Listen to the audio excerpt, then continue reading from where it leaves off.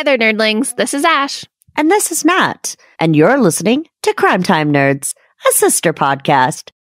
Today's case contains graphic details of murder, sexual assault, and violence. Listener discretion is advised. And now, nerdlings, let's grab our flashlights and join us as we venture down into the dark world of true crime together. We hear the term, that person is a monster, frequently in our society. The true crime world often uses the saying to discuss heinous crimes and those who would commit them. The idea that these monsters live among us often feels foreign, though. Living in a rural state, it's easy to forget that there are people out there who go out of their way to do folks harm. There are people who would murder you just because you happen to fit their modus operandi, or because you were at the wrong place at the wrong time, or just because they can. There are monsters that live among us, no matter how rural the community may be, no matter how safe it may feel. There are monsters who infiltrate our small towns and take away the security we all once felt. In 2012, the communities of Alaska and Vermont would be shaken with the knowledge of just how close one of these monsters had gotten. We would all soon learn that this monster had not just ruined one family's life, but had in fact devastated nearly a dozen. Unlike Dracula, or the boogeyman, or the creature from the Black Lagoon, this monster was human, and his name was Israel Keyes. There is no one who knows me, or who has ever known me, who knows anything about me, really. They know they're going to tell you something that does not line up with anything I tell you because I'm two different people, basically. And the only person who knows about what I'm telling you, the kind of things I'm telling you, is me. How long have you been two different people? Long time. 14 years. 2012 would be the year that Israel Keyes took off his human mask and showed the world the monster he was inside. His actions would forever change the lives of two communities and leave others wondering if perhaps he had come to visit their own small slice of peacefulness and ripped it to shreds. The story of Israel Keyes begins with his birth, his teenage years, and his slow advancement into embracing the dark creature that lived inside of him as he reached adulthood. It is the story of two families that have been devastated by the loss of their loved ones. It is also the story of two communities that will forever bear the marks this monster's claws scratched into the veins of these two locations. This is part one of our four part series on Israel Keyes. And with that, nerdlings, it's time to grab your flashlights and hop in the passenger seat as we drive into the past of serial killer Israel Keyes. Every monster has a beginning, and Israel Keyes is no different.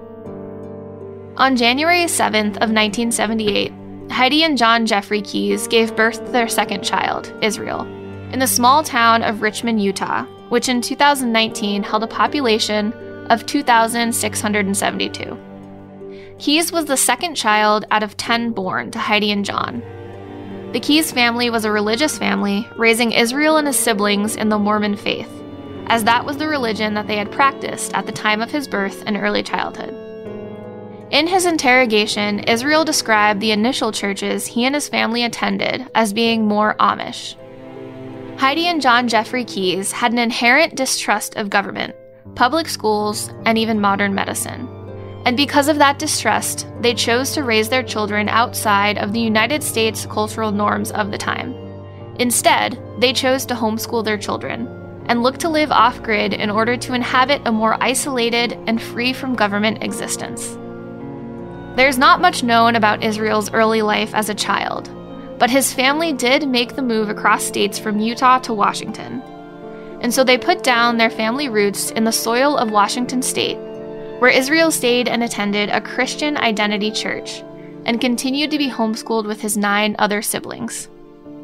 For many years, the Keyes kids would sleep in a tent because the family was living off grid and due to the sheer amount of children the Keyes family had under one roof. The kids would often work under the table at jobs on farms, where they could cut firewood or do various farming chores to earn money. Israel Keyes would find a love and obsession with guns in his childhood. He would often state that he shot at houses in the neighborhood with his BB gun. He was also known to start fires in the woods near his home. The Keyes family lived in a small one room cabin, and we are not sure how long they lived in this cabin, but it did not have the classic amenities you would expect a family home to have. There was no running water or electricity, no television or cable, and no independence from one another. The family of 12 would all eat, sleep, and socialize within the one room cabin. At some point early on in Israel Keyes' childhood, the Keyes family decided to leave the Church of Latter day Saints, and they decided to convert their faith over to what is often perceived as radical Christianity. It was that fundamentalist religious belief that Israel Keyes would struggle with as he grew into his teenage years. His doubt would later turn his once devout faith in Christianity to a belief and worship of Satanism throughout his teenage years. Israel Keyes would describe the church his family had switched to as being a, quote, more militant militia sort of church, unquote. The Keyes household did make friends with their neighbors, a family by the name of Kehoe. The Kehoes had eight children. Two of their sons, Chevie and Cheyne, were both friends of Israel and his siblings. These two brothers would grow up to become white supremacists, murderers, and participants in terrorist actions. Their father, Kirby Kehoe, would also be an active member of the Aryan Nation and participate in these crimes. Chevie was later found guilty of kidnapping, torturing, and murdering three people in 1996. He is currently serving three consecutive life sentences. Cheyne was convicted and had a reduced sentence after turning his brother in. He served 11 of the 24 years he was sentenced for. Perhaps the friendships solidified all the men's future of bloodshed and crime. Eventually, the Keyes family would opt to move yet again, this time choosing to move to Maupin, Oregon. In the mid 90s, the Keyes family decided to move on from Oregon, this time to Smyrna, Maine, a small town in upstate Maine located in Aroostook County. According to a 2010 census report, Smyrna has a population of only 442 people. While in Maine, the Keyes family decided to try their hand at an industry many New Englanders relish that of maple syrup. The Keyes family owned their own maple syrup business in the rural Maine area. Israel was described by neighbors from his time in Maine as quiet and courteous. Despite the descriptor of being a quiet young man, as a child and young teenager, Keyes would often break into neighborhood homes and steal guns and any types of weapons he could get his hands on. He would take the guns he had stolen and place the guns and other weapons into a secret cache he had hidden in his parents' home. It is also stated that, like many other serial killers at a young age, Keyes did in fact torture animals. The torture of animals is linked with psychopathy and can be a determinant of future sadistic tendencies. Israel Keyes recounted a story in which he once shot a cat, or it was possibly a dog, he supposedly wasn't actually able to fully remember. He also shot a cat on another occasion after having tortured the poor creature first. The torture and then murder of the cat actually horrified the other teenagers who happened to have been with the young Israel Keyes at the time. He was quoted as stating, quote, That was pretty much the last time anybody went into the woods with me, unquote. Israel Keyes was also an avid hunter, Hunting would give Israel an excuse to kill animals in a controlled and condoned way without drawing undue attention. Hunting is also a large part of New England culture, specifically in rural communities like the one Israel Keyes' family had moved to in Maine. As Israel Keyes grew older, he began to find a distaste for religious practices his family, specifically his parents, had so highly valued. Keyes began to grow fascinated with the idea of Satanism and would eventually decide that he no longer had any faith in God. He would confront his parents about their faith and his lack of any. The confrontation would inevitably cause a rift between his father and him. The rift would never be repaired, as Israel's father would go on to cut ties with his second oldest child due to his lack of faith. While Israel Keyes would lose the relationship he once had with his father, he would manage to maintain the relationship he had with his mother, remaining very close to her. It was in his late teens that Israel Keyes would move back to the West Coast, settling into Oregon State once again. It is thought that Israel Keyes committed his first crime shortly before joining the military, roughly around the years of 1996 or 97. The victim is unknown to this day, but according to Israel Keyes, she was young. Keyes himself would only have been a late teenager, possibly around 18 or 19 years old. While being interviewed by the FBI after his arrest, Israel Keyes stated that he had made up his mind that he would soon rape and murder an unsuspecting victim while he was in his late teens. He felt that he was at a point where he could get away with the crimes too. According to the Anchorage Daily News in an article by Michelle Theriault Boots, published on May 18, 2018, quote, he was also interested in Satanism at this time and began to plan a satanic ritual killing involving a young woman, unquote. Keyes confessed to raping a teenage girl in the state of Oregon, sometime in the summer months of 1996. There is not much information about this horrific crime available to the public at this time, as investigators have not released more information about this potential first victim. It is possible they have no further information on the initial crime. The teenage girl is said to have been between the ages of 14 and 16. According to that same article from the Anchorage Daily News, Keyes was working in the area near the Deschutes River. While there, he spotted a young teenage girl, abducted her, and dragged her to a nearby campground. Once at the campground, Keyes would tie her up with rope and then rape the young teenage girl. He had plans to strangle her and dump her body in a nearby toilet pit on the campground. Keyes had brought knives with him so that he could conduct his planned satanic ritual. Keyes stated that he had the intention of killing her, but he let the young teen get away. After, quote, she kept saying she wasn't going to tell anybody, unquote. Her words must have gotten to Israel Keyes because he stated that, quote, she was pretty smart. It worked. Things never got really violent like they could have if she had been fighting me, unquote. According to that Anchorage Daily News article from 2018, Keyes was quoted as stating, quote, I was too timid. I wasn't violent enough. Unquote.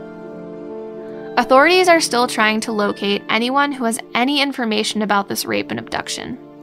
They have gone through records, but it seems that this rape was unreported or has been lost to time, as the rape and abduction would have been over 25 years ago. On July 8, 1998, a now 20 year old Israel Keyes would join the U.S. Army for four years in that short time, he would spend time in Fort Lewis in Washington state, Fort Hood in Texas, and lastly, Keyes would spend the last of his time in the army in the Sinai Peninsula in Egypt. It was reported that Keyes and his military friends would travel to Tel Aviv, Israel, from their station in Egypt. Once in Tel Aviv, they would go to find sex workers within the city and would solicit sex from the sex workers. Israel knew that he wanted to start acting on his urges to kill strangers in his interrogation with the FBI, he stated that, quote, I guess you could say I came to terms with myself and the reasons I wanted to do it, unquote. There's not much known about Israel's time in the military, other than the fact that while serving, he did receive a DUI. But other than that, he did not have any other known trouble with the law. Keyes would go on to be honorably discharged in July of 2001. It is not thought that Israel committed any murders while he was serving in the military at this time. After leaving the military, Israel Keyes would end up settling down with a woman whom he had met while he was stationed at Fort Lewis. The couple would move to the Makah Reservation in Washington state, in the community of Neah Bay, where they would give birth to their daughter. Israel stated that his girlfriend was already pregnant with their daughter when he completed his military term. Israel worked odd jobs via the Parks and Recreation Department on the reservation. He was an avid outdoorsman he would often take long trips out of eastern Washington to hide in the rural countryside. It is thought that this location and these random trips out to the forest are more than likely where Israel Keyes would begin his path to murder. He would go on to tell investigators that, quote, I just accepted it was a matter of time, time, an opportunity before I did something again, unquote. Israel and his girlfriend would live on the reservation together for roughly six years before splitting for unknown reasons. While not officially married, Keyes would always refer to the woman as his wife, or later on his ex wife. When Israel Keyes was later interrogated by investigators, he would tell them that it was in his early to mid 20s during the time after his military tenure and while he was settling down as a new father and partner that he really would come to terms with just who he was. Keyes recognized that he was different from other people and that the urges he would have, others did not actually have. Those urges he was referring to would, of course, be his need to kill. Animals were no longer fulfilling Israel Keyes' bloodthirsty urges, and after leaving the military, it seems like Israel Keyes could no longer be satiated with killing them. He would escalate from not only rape, but to also include murder. Israel Keyes would utilize his love of outdoor activities such as fishing, boating, hiking, camping, and even kayaking in order to stalk potential victims he would spot out in the open Alaskan wilderness. He was quoted as saying, quote, You go fishing or out hunting, stalking through the woods. You see somebody through the woods. They don't see you. Sit there and watch them for a while. Unquote. Keyes would often look for potential victims in cemeteries while out hiking or in general places where he could find people alone. Initially, Keyes tried blaming religion as well as his own belief in Satanism to explain why he was the way he was. Inevitably, he would come to the realization that being a cold blooded killer was who he was to his core. He understood that by accepting who he was, he was now giving himself permission to do what he had always wanted to do. He wanted to murder people. Israel Keyes wanted to commit the very acts that would be condemned by the religious upbringing he had been given. He was now embracing his inner killer, knowing full well that he was giving into the joy and pleasure he received from committing these heinous crimes. It was at this time that Israel Keyes began to become the methodical serial killer that he is now infamously known to have been.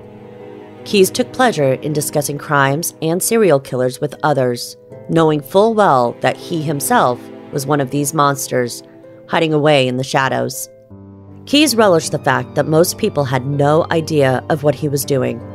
He enjoyed feeling superior to them, knowing he had a great big secret that they couldn't even fathom.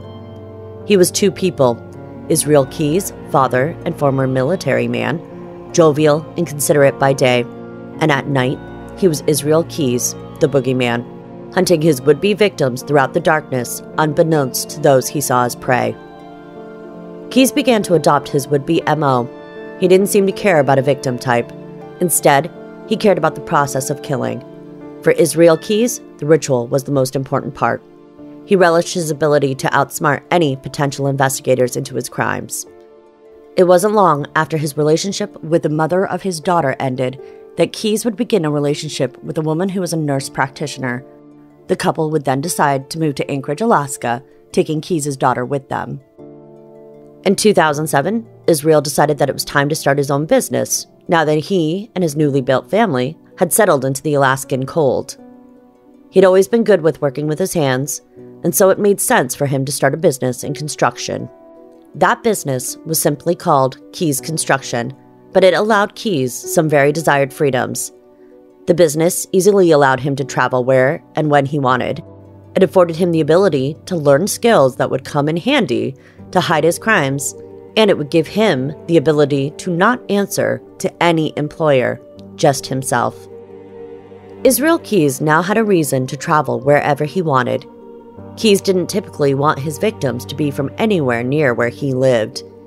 He realized that he had less chance of getting caught if he went to different locations and if he grabbed different types of people. Israel Keyes didn't have a victim preference. He didn't care if his victims were male or female, older or younger, heavy set or thin, but he stated if given a choice, he preferred his victims to be, quote, lightweight, because it allowed him to easily dispose of their bodies that way. Israel Keyes would state that being a father made it so that he, quote, tried to avoid situations, unquote, that could lead to a child being harmed, as he seemed to care more for children after becoming a parent himself. Whether he considered teenagers children is unknown. Keyes began to adapt as he matured into a serial killer mentality. He knew he could outsmart investigators by traveling randomly. He would take overly complicated routes to travel to any specific location. For example, if he wanted to go visit his mother who lived in Texas, he may fly from Alaska to Chicago, run a vehicle in Chicago, and then he would drive the rest of the way to his mother's home in Texas. Keyes did this so frequently that it makes it like looking for a needle in a haystack, trying to determine just who victims of his could be along the many twists and turns his travel paths would take. Not only did Keyes murder people along these paths, he would also rob banks to help supply his crimes, and he even would go to the lengths of committing arson in order to hide evidence of any wrongdoing. The worst part of all of this is that no one knew who Israel Keyes was deep down inside. He didn't stand out in any way, he was not on any police radar until after they caught him. His crimes weren't easily linked to one another, as they were sporadic and the victims shared nothing in common.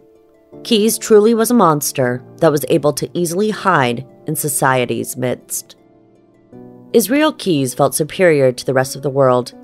He viewed his ability to commit a crime and also get away with it as a type of high. It was almost like a drug to him. He stated in his interrogation, quote, "It was all like a mind game with me. That was all I needed. That was my adrenaline. That's where I got my kicks.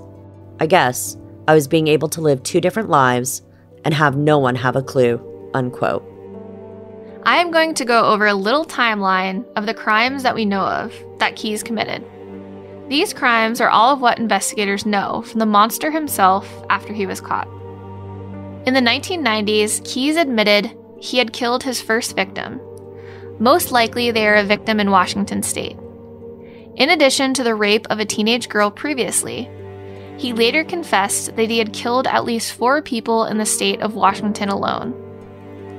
These four murders are all still active investigations, so there is little information known to the public at this time. We are unsure if victims have been identified or not currently. Keyes lived in a plethora of places from the early 90s to 2008. His living all over the United States would bring an even more complex piece to the possible crimes and potential victims of the serial killer. Investigators are actively looking into the missing persons cases around the Fort Lewis area in Washington state, from when and where Keyes was stationed in the military, as well as victims throughout his years on the West Coast. Keyes robbed a community bank in Tupper Lake, New York in April of 2009 Keyes was known to wear disguises and would often rob banks in order to fund his crimes, as well as supply his kill kits. If you would like to see a still shot from the security tape from the community bank robbery, we will have it on our social media in order for you to view. Investigators believe that at the time of the robbery of the community bank, Keyes murdered a victim in the state of New York while there. The FBI has released an interactive map of Israel Keyes' travel locations over the years and timelines of crimes he committed along the ways that has more details about his exact locations. We will be taking a deeper dive into his travel itinerary in the CTN breakdown next week. We will share the link for the map in our references on our website, as well as in our social media for folks who may be interested in taking a look at how he traveled and where. Not only did Israel Keyes travel in complicated ways, but he also moved around so much that he was often hard to track, making the process of looking for possible victims even harder for investigators, even all these years later.